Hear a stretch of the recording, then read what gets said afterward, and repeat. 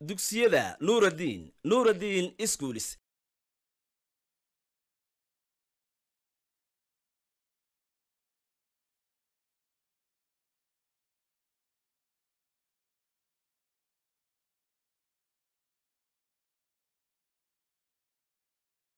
bismi llahi raxmaan raxiim assalaamu calaykum waraxmat ullahi barakaatu aad iyo aad baan idiin salaamay ardayda qiimaha badan. Waxaynu ku jiraa arday oo inoo socday xiisaddii horena aynu qaadanay qeybtii hore maahmaha saddexleyda ah xiisaddeenna waxaynu ka sii anba qaadi doonaa halkii inoogu dambeysay darsigeenna. Marka waxaa inoo socday maahmaha saddexleyda ah maahmahada maanta aan ku bilaabayno darsigeenna waxa weeye maahmahada saddex alle ma aqbalo. Saddex baan ilaahay aqbalayn. Saddexda alleh aanu aqbalayna maahmaahdu markaas ay ka hadlaysaa waxa weeyaan arday saddexdan halkan aynu ku eegayno oo waxa weeyaan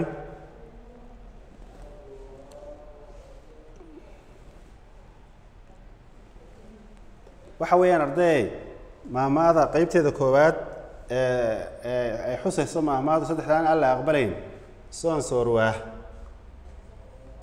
iyo salaad ku dayasho iyo samir taagwaah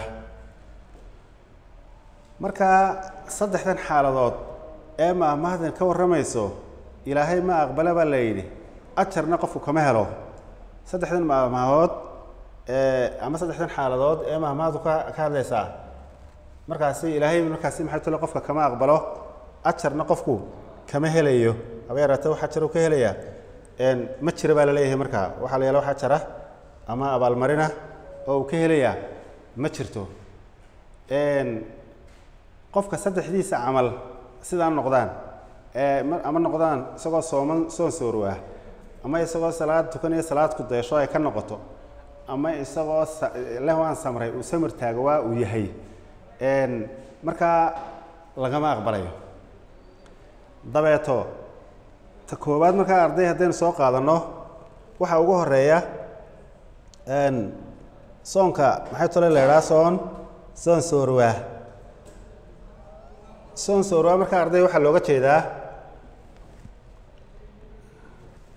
Soon soorwaah waxaa looga jeedaa qofka oo inta uu cunto waayey uu cuno.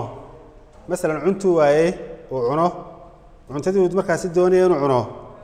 Ayuu markaasi waayey. Dabeedna markaasa wuxuu odhanayaa waan soomayaa isagoo markaasi aanay ka ahayn ilaahay hortii ama ilaahay dartii aanay ka ahayn waxaa lagu uhi waa soon. Aanu qofku hor ilaahay u soomin. Hor ilaahay maxay ka dhigan tahay?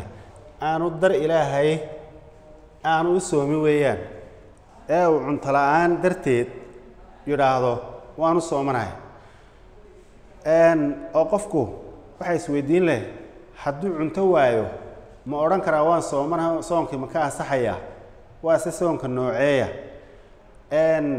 Waxaa jira xadiis nebi maxamed sala allahu alayh wasalam baa caasho u yimid radia allahu canha markaasuu ku yihi caayashay waxa cunto ahi gurigeenna ma yaalaan bal eegada nebi maxamed khayru khalqillaahi ah ayaa zuhdigiisa gurigiisiba laga waayey wax la cuno. Wax alleela wax la cuno ayuu nebigu ka laayahay gurigiisii. Wuxuu idhi caayashaay guriga wax la cunaa ma yaalaan deedna markaasay tiri rasuulka ilaahay oo maya eh waxba ma yaalaan la cunaa. Nebigu markaasuu yihi sala allahu calayhi wasalam idan innii saa'im haddaa waan soomanahay. Macnihi haddaa waan soomaya laga bilaabo saacadda. Marka waxa weeyaan culimmadu waxay idhahdeen waa soonka ama soomka sunnaha ah weeyaan. Deedna qofku hadduu isagoon waxba cunin waxna cabbin uu soo tooso.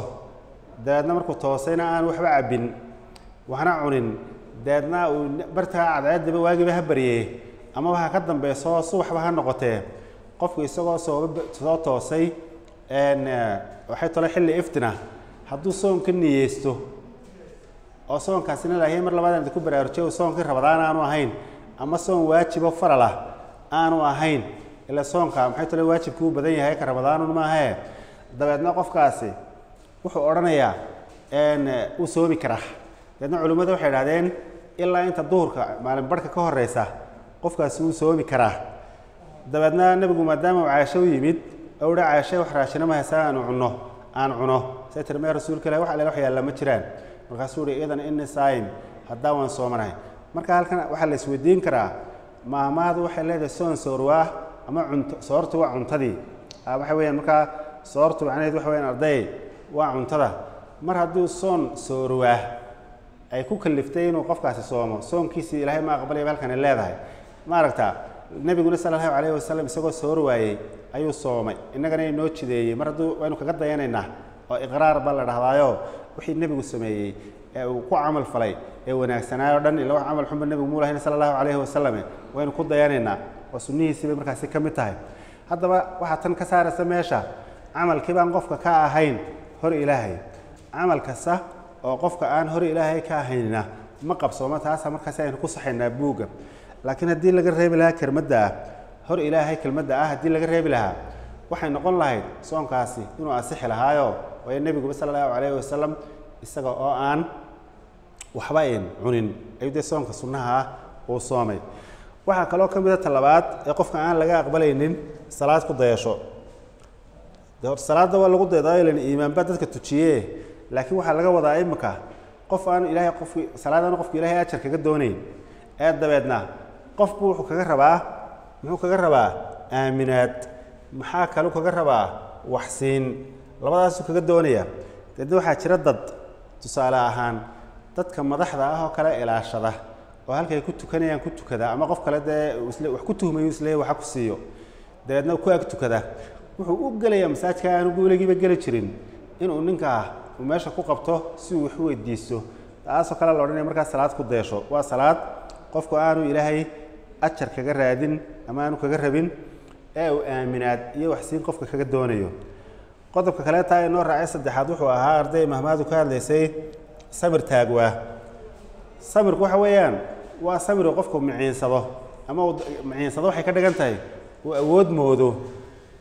Samirkii wuxuu miciinsanayaa qofkaasi oo awood moodayaa wuxuu miciinsanayaa ama uu awood moodayaa qof dhibaato u geystay ama maxay tore waxyeello u geystay ayuu ka aarsan kari waayey. Masalan aarsigu waxa weeyaan arday inuu qofku aanu wixii lagu sameeyey wax la mid ah aanu eh, maxay tolay aanu samayn karayn. Aarsigana waaba laynoo diidayo. Waxaa la yidhi nebigu sal allahu alay aslam waxyaalaha qofku isku qiimeeya muslimka waxaa ka mid ah. Waxaa la yidhi hal axsanta ilaa man asaaka qofku xumeeyey ma wanaagsi habeenkii markaad xisaabtamayso inaad tirahdaa niyo maanta imise qofba intay ku xumeeyeen aad wanaag u abaal gudday ood markaasi wanaag ugu bedeshay ma aragtaa marka inaad qofka ka aarsatood xumaan xumaan ku guddo waa laga wanaagsan yahay. Laakiin hadday dhacdo qofku markaa isagoo islahaa aarsaba uu aarsan kari waaya baa la yidhi ayaa waxaa la dhahdaa waa loo yaqaana markaa samir taagwaa ayaa la dhahdaa waxaa ku xiga oo maamahada kale taa ku xigta arday markaasi maxay tolay? Ay noqonaysaa biidni illaah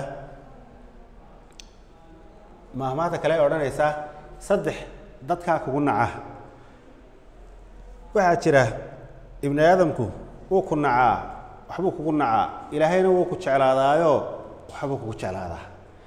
Waxyaalaha ilaahay markaasi uu kugu jeclaanayo iyo way iska soo horjeedaan qaarkood waxyaalaha aadamigu kugu jeclay qaarkood markaa dabeedna tusaale saddex dadkaa kugu naca. Amaad waxayna leedahay saddex dadka ayaa kugu naca. Saddexda dadku ay kugu noceen arday waxa weeyaan baryo badan baryo badan. Qofku hadduu mar walba wax barya uun oo uu qofkii mar kastuu ku arko iyo mar kastuu kaa hor yimaadaba uu wax ku weydiiyo. Dee qofka ibni aadamku karahaysanaya baahi badan qofkaasi hadduu doono qofka ayaanu uba imaninba oo aanu wax weydiisaninbe laakiin haddii mar walba baahi ka muuqato lagu sheego dadku way dhibsadaanuun. Waxaa kaloo ka mid a bukaan badan. Bukaankana qofku markuu ilaahay imtixaamo ilan caafimaadka iyo cudurkaba ilahay kugu imtixaamaya waxaa la eegaya ballaad ku samartay imtixaankii xanuunkii inaad ku samartaa la eegayaa iyo cudurradu ilaahay kugu keenay inaad masaa'ibta ku samartaa la eegayaa haddii aad markaa maxay ku samirto ilaahay markaasi kafaara buu kaaga dhigayaayoo dunuubtii iyo wixii aad gashay macaasidii buu kaaga goynayaa. Een, baryadii wuu kugu jeclaanayaa baahidii kugu keenay markaad ku samirto wuu kugu jeclaanayaa laakiin saddexdaba ibni aadamkii uu kugu nacaya uu kugu karaahiyeysanaya. Marka ilaahay wuxuu ku leeyahay bari markaad baridana waa markaasi adducaau huwa alcibaada. Waaba baryadii baaba cibaadaaba. Deedna inaad ilaahay barida ilahay kugu jeclaanaya. Laakiin ibni aadamka markaad mar u timaado aad mar labaad u soo noqoto ee haddana bidhaantaada maalin dambe adoon isagaba ku soo soconin ama muraad kaleba le hadduu ku arko adoo halkaa maraya arwaa kaa kiinka harta qabay igu soo socda ayuu ku odhanaya uu ku dhibsanaya laakiin ilaahay wuu kugu jeclaanaya baahida badanna markaad ku soo marto ilaahay waa kugu jeclaanaya bukaanka badanna qof mahuraana maxaa tole weliba khaasatan waalidka. Waalidka hadduu ilmihiisu si kasta u dhibaato u dhibaateeyo uu xanuun kasta qabo ma ma dhibsado waalidku ma dhibsanayo. Marka maamahada waxaynu ka reebaynaa bukaanka badan cidda dadka ku nacdaa waalidka maaha waxaa laga yaabaa kala dhalay inuu waalidkii ku naco bukaanka. Laakiin waalidkaa haddaad cad tahay yaallo qof curyaan oo aan dhaqaaqiba karin oo baaralays oo aan kaadidii saxaradaba la kacayn ood markaasi boqol jir caynkaa ku gaadho nolol isku soo gaadhaan wuu kugu jecel yahay un waalidkaa kaa danqan maayo. Marka maamaadan waxay tilmaamaysaa saddexdaa xaaladood dadku uu kugu naco ama kugu dhibsado. Waa lagugu nacayaa naciyo markaa dhibsigii markaasi waa waa isku miduune hase yeeshee saddexdaas ilaahay qofka wuu ku jeclaadaa haddii laga helo qofka. Marka baryo badani waxa weeye haddii qofka looga barto baryo joogto ah oo marka aad kulantaanba wix ii dhiib ay ka soo horeyso waa la karaahiyeysanaya waa la karaahiyadu markaasi waxay noqonaysaa waa la nacaya. Waa lagu nacaya markaa dabeedna waxaa ku xiga baahi badan. Baahidaadana markaasi haddaad ibni aadanka u bandhigto ilaahayna maxay waxay tiri aad aada u bandhigi weydo waad dulloobaysaa uun dabeedna qofkuna baryadana waxay kala taagan tahay. Qof waxaa jira isagoon baahnaynba oon baahi badan ilahay inuu ka kaaftoomi karaya baryada dadka barya. Nebiguna sal allahu alay waslm qofka aad buu uga degey wuxuu uhi markaasi dhibaato fara badan buu la kulmi doona maalinka qiyaamaha marka maxay tolay waa dhimbiil naara oo uu urursanayo mar hadduu ka kaaftoomi karaya baryo. Laakiin isagoo ka kaaftoomi karaya oo baryadii wado dhimbiila naarta jahanamo qaar ka mid unbuu urursanaya buuhi nebigu ama ha badsado ama ha yaraysa marka arday in wax la baryaa dhaqanba in laga dhigto maaha. Waayo waxaad la qabsanaysa naftaa baranaysa oo waa la iska ilaaliyaa. Qofku inuu wax qabsado oo tacab la soo baxo wuxuu baryayaa wuxuu doonaba ha noqdo. Heblay casharkaa ii sheeg heblay qofku ardaygu arday kale wuxuu la falanqayn karaa waxuu wada baran karaa laakiin horta intaad kaaftoomi karto waan isku daya inaad kaaftoonto. Waxaan eegaynaa qaybta kale mahmaada insha allah. Saddexbaa waxaa la yidhi rag ugu liita. Saddexda rag ugu liita. Ama ugu maxay tolay dee tala xun.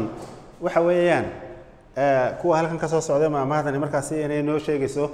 Saddexdaasi markaasi waxaa ka mid ah saddexdaa waxaa ka mid ah saddexda ragga ugu liita matoshe qofku hadday masalan duruufaba hayso ama daniba hayso in waxaa la yidhi aradna waa dan uskagna waa doqoniimo dad arado dee dan baa ku haysa dantuna dantaada iyo madaxaaga. Midnaba lama dhaafay bay maahmaha kale tidhaahdaa. Laakiintii waa inaad waxaad haysatana ku qanacsan tahay hagaajisataana. Oo maarata maxay tolay aad dee tolmihiisa iyo nadaafadiisa iyo waxa aad ilaalisaa. Laakiin haddii aad tolanba weydo oo mar kale dilaacsano lagaba yaabo mararka qaar qofka cawradiisiiba muuqato dee waxa weyaan qofkaasi waa qof liita. Waxaa kaloo ka mid a qofka la yidhaa matashadaha. Qofkaasi waxa weeyaan matashada waxay ka dhigan tahay qofku waa inuu naftiisa u taliyo tala fiican dee tashado. Ama waa inuu ta wanaagsanee lagula taliyey uu qaato. Laakiin hadduu talo wanaagsanna keeni waayo naftiisi ku tashan waayo ama uu u tashan waayo naftiisa tii la siiyeyna uu qaadan waayo. Markaasi qofkaasina waxa weeyaan waa qof isna liita bay maamahadu leedahay. Matashiilana waa tii aynu maamahadii horena qayb kaga darna kaga jirtay maamahadana xidhiir baa maamahaan ka dhexeeya qaare.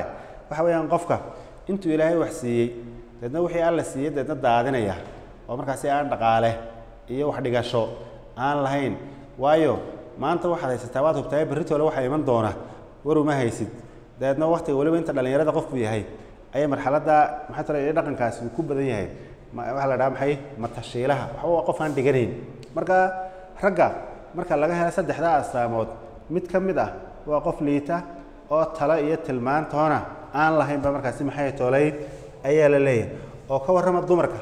Dee dumarka lafteedu maaha raggoo kaliyaatee waa inay tolotaa waa inay tashataa waa inay wax tashiilataa maarata oo dhaqasho leedahay ruuxa dumar aslaamaha laga eegaabay ka mid tahay markaa markaa rag dumarba way markaasi ragga ragga maamaadunbaa ra'da martee way ka dhaxaynaysaa waxaa ku sii xiga oo arday markaasi insha allah aynu eegeynaa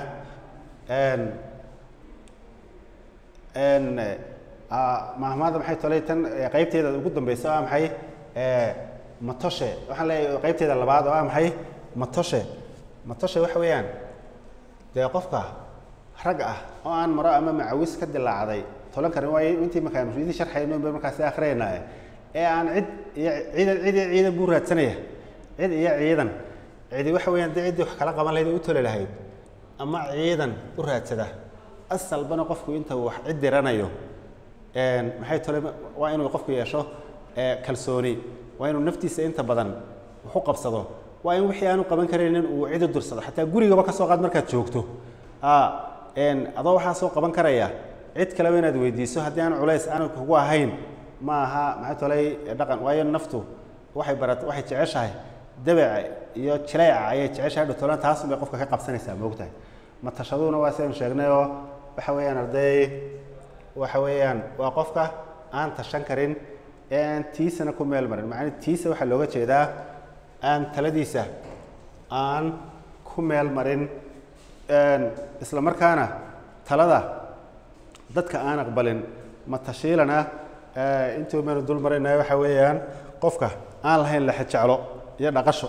Lexejeclo iyo dhaqasho waxay ka dhigan tahay lexejeclo de qofku wixii u haystay ee hanti ahaa noocay doontaba ha noqotee xoolo nool hadday tahay mood iyo nool baa la kala dhahdaa xoolo nool hadday tahay iyo iyo hadday tahay xoolihii kale haddii aan nooleyn hantidii kaleba hadday tahay waa inuu qofku markaasi maxay tolay uu lexejeclo uu markaasi maxay tole u yeeshaa oo uu markaasi dhaqaaleeyaa oo markaasi maxay tole uu noqoya qof dee leh maxay tolay sifooyinka ah u keeni kara qofka maxay tole horumarka ee ka furan kara inuu cid aan maxay tolay ahayn naftiisa ama cid aan muhuraanba ahayn markaasi uu ku tiirsanaado oo markaasi uu baahi maxay tolay ay u geyso baahi. Marka arday waxa weeyaan maamaha runtii aad iyo aad u muhiima oo markaasi ay tahay inuu qof waliba uu ku saleeyo habdhaqankiisa iyo nolol maalmeedkiisa oo baryadii iska ilaaliyo aa, qeyrkii baryayey ee, baahidii iska ilaaliyo. Uu maxay tole cid uun u baahdo waa la baahan karo qofka ibni aadamkii uu u baahdo inuu iska ilaaliyo maxay tole hadduu bukoodaba. Inuu markaasi maxay tole ilaahay talas qofku bukaanaya qof bukoodana cid uu u baahdaaye laakiin waxa weeyaan ee, waxyaalahaas eh, maaragtay ibni aadamka markaasi ay qofka ay ku nacayaan. Mar walba markaasi inaad inaad ka feejigaysato. Waxaa ka mid ah waxaa ka mid ah een, dhaqaalihii bay ka hadlaysaa waxaa ka mid ah tashigii iyo mushaawaradii iyo iyo sheegii iyo wax kala qaadashadii bay ka hadlaysaa. Waxay ka hadlaysaa tashiilidii iyo qofka markaasi maxay tolay inuu wax tashiisho oo markaasi u dhaqaaleeyo. Qofka inta yar dhaqaaleeya ayuubaa inta badanna dhaqaaleyn karaya oo markaasi nolosha horumar markaasi maxay tolay ka samayn karaya.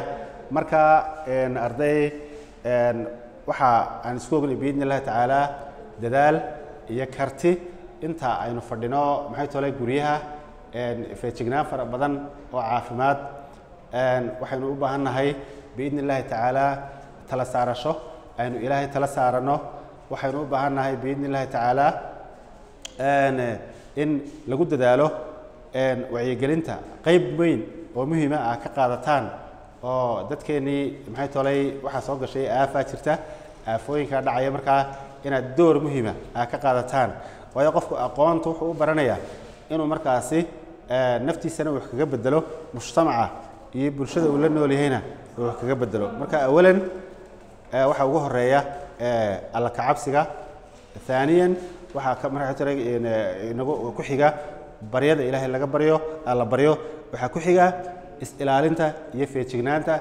Waxaa ku xiga wixii wanaagsanee lagaga aqoon badaya culimmada iyo dhakhaatiirta dadkeena markaasi inaynu inaguna qaadano dadkana aynu ku wacyigelino doorkeenna oo waayo kelmadaad qof ku badbaadiso ilaahay baa kugu naxariisanaya oo markaasi wanaag kugu siinaya. Darsigeenina maanta intaasaynu insha allah ku soo koobi doono. Waxaa jira sideed mahmahood oo kale sharax dheeraada waxoogaa u baahan doona. Sideedda mahmahooda laylis ahaanta laydinku diray. Aniga ayaa markaa insha allah xiisada tan ku xigta. Biidni illaahi tacaala idinkala shaqayn doonaa intaasaan maanta darsigan inoogu soo gunaanadayaa wajazaakum allahu khayran. Wasalaamu calaykum waraxmat ullahi wabarakaatu